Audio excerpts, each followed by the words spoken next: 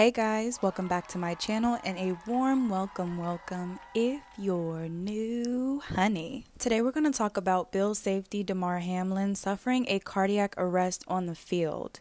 So if you're ready to get into this story and find out exactly what happened, just stay tuned. A horrifying moment took place during the Bills versus Bengals game on Monday Night Football.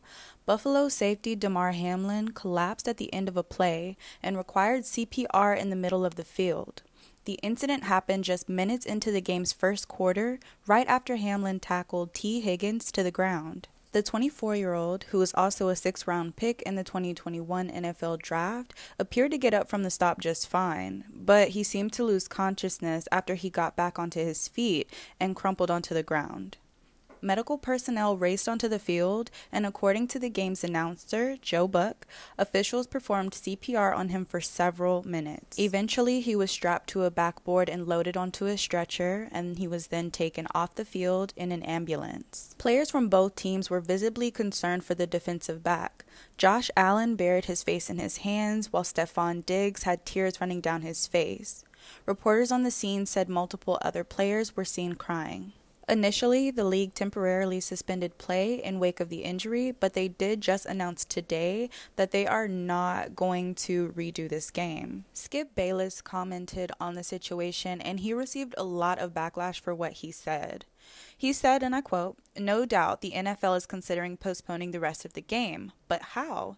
This late in the season, a game of this magnitude is crucial to the regular season outcome, which suddenly seems so irrelevant. Terrell Owens decided to post his quote to his Instagram page, and he left his two cents as well. T.O.'s caption to the post was, This is the most despicable tweet ever.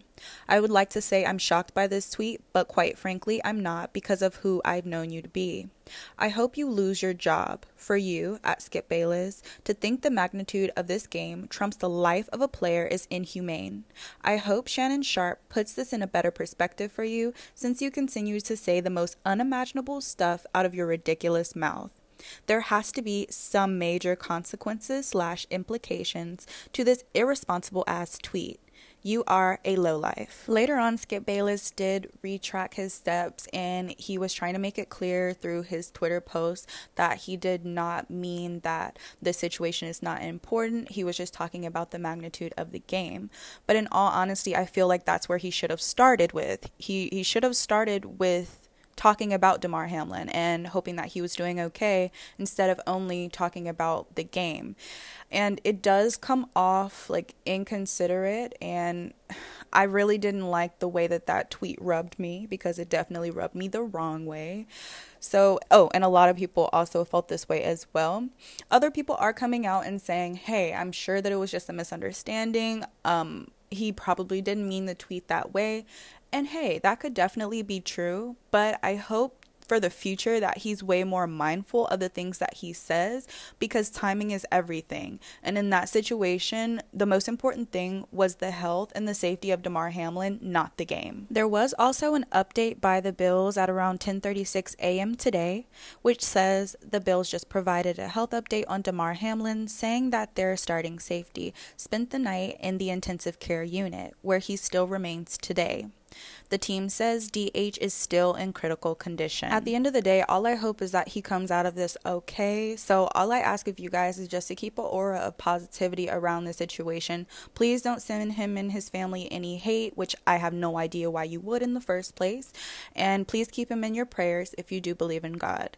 And also, guys, I do highly recommend that you take into account your physical health as well as your mental as well, because you never know what is going to put you you in the hospital. You never know in this situation what's going to put you in critical condition. And I didn't want this for him, neither do I want this for you guys.